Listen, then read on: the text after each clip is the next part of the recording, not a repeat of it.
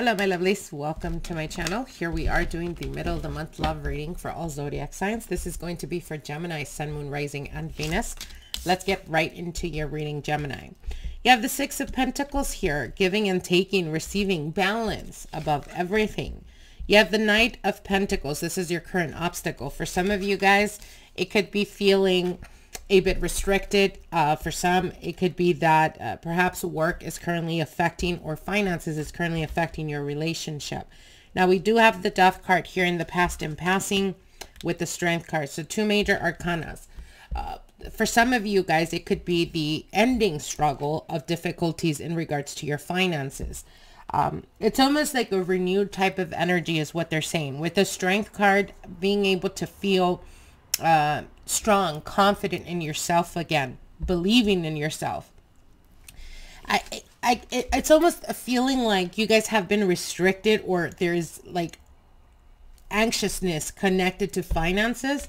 It doesn't necessarily mean struggle, but it could be that you're feeling like you're uh, in a tight binding when it comes to your finances. And that could be something overwhelming for some. I do have the Fool card here. So there's definitely new beginnings. Uh, for some of you guys, it could be that uh, there is uh, a, a, need or a desire to uh, perhaps, for some, it could be like you just recently got a new home. For others, uh, you could have gotten a, a, a new purchase, a vehicle, something that you're still struggling to find the balance in.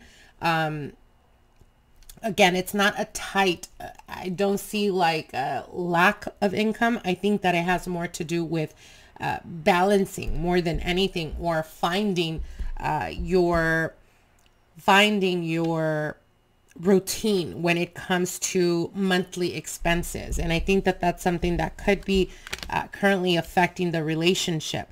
You may be a little bit more agitated, a little bit like it's easier for you to uh, become agitated when it comes to your partner, when it comes to communication. Uh, but I think that more than anything, the reason for that is because there is a lot of worry in your mind.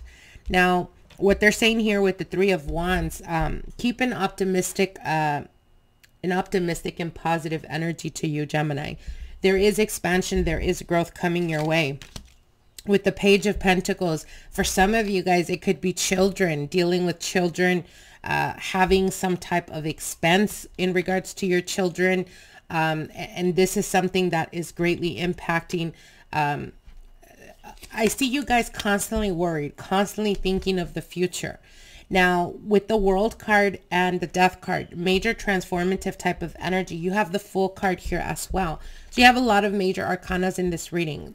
Spirit is telling you, Gemini, have faith, um, believe and trust in the process. Uh, you're you're not you're not going to be dealing with this uh, for very long. I think that it has more to do with um, perhaps having like unexpected uh, expenses that, like I said, it could have been that you had a car for a while and it's giving you problems and you recently purchased a new vehicle. So you're still trying to get into the routine of, like I said, monthly uh, expenses.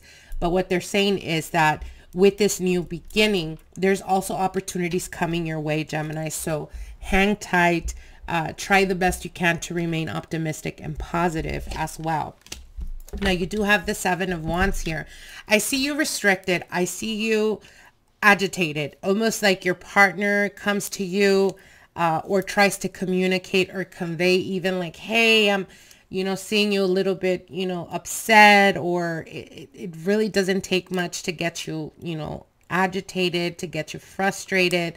And they're just coming from a loving place. But I think that for you, uh, you're kind of in a defensive mode right now because you're just not trying to get to a point almost of like in if in the past you've struggled financially you promised yourself not to get to that point again so i think that that's something that is overwhelming uh, something that you may be dealing with. Now, for those of you guys that are currently single, um, this could signify lack of communication in regards to the person of your interest. And it could be because they are currently struggling with finances.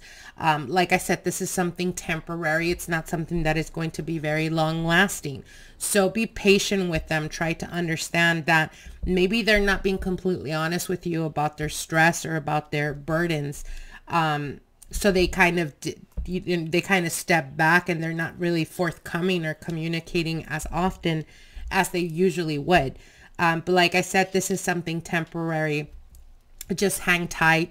Uh, be patient with them and understand that a lot of the time, especially when you're dating someone, uh, people don't feel very comfortable, uh, you know, putting on or giving you the 411 on what's going on in their lives. So just be patient with that. Okay.